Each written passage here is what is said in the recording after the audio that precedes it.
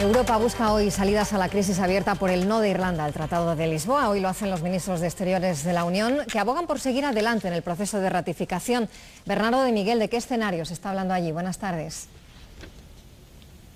Buenas tardes. Pues numerosos escenarios y, como os podéis imaginar, entre las hipótesis que se barajan figura la de que Irlanda acepte que los demás países apliquen el tratado y que ella se sume cuando pueda. O bien trocear el tratado por partes para aprobarlo sin necesidad de ningún referéndum. Pero se trata solo de hipótesis porque Europa tiene tiempo, ya que los puntos más sensibles del tratado no tienen que entrar en vigor hasta 2014. Por eso hoy la prioridad de los ministros es que continúe el proceso de ratificación e intentar llegar a diciembre con 26 países a favor y uno solo en contra, para pactar entonces con la, solución con Dublín. Pero esa estrategia tiene dos riesgos. Uno, que Irlanda se enroque y diga que el tratado está muerto. Y otro, que alguno de los países pendientes de ratificación como Reino Unido o la República Checa se nieguen a seguir y desbaraten todo el proceso. Así que el Tratado de Lisboa sigue en grave peligro.